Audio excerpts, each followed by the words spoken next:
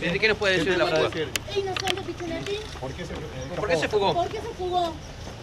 Confía en la justicia. ¿Quién lo ayudó en Bolivia? ¿Con quién estaba? Piccinetti confía en la justicia. El titular del ESIF brindó detalles sobre la detención del prófugo más buscado en Tucumán, Luis Piccinetti.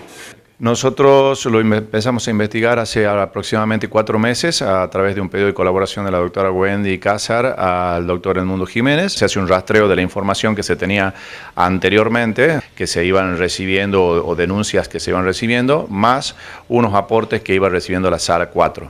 Esa información lo que nos hace es que nuestro equipo de gestión de la información que tenemos en el, en el ESIF eh, pro- en- procese esa información y luego de procesarla, eh, bueno, arme varias hipótesis y luego de armar esas hipótesis se va trabajando sobre ellas y se va descartando. Hay un testigo protegido esto. Aparentemente podría ser que haya un testigo protegido eh, que dio alguna información quizá a la sala. También tenemos testigos eh, protegidos en, en Bolivia que nos han dado algunos datos, nos han precisado datos. Doctor, ¿ha quedado confirmado esa relación de envío de dinero, de constante comunicación entre los familiares y Piccinetti? No sé si hablar de, de- de envío de dinero o no, pero sí una comunicación entre Piccinetti con uno de sus hijos. En realidad es visitas de uno de sus hijos hacia él, eh, allá al país.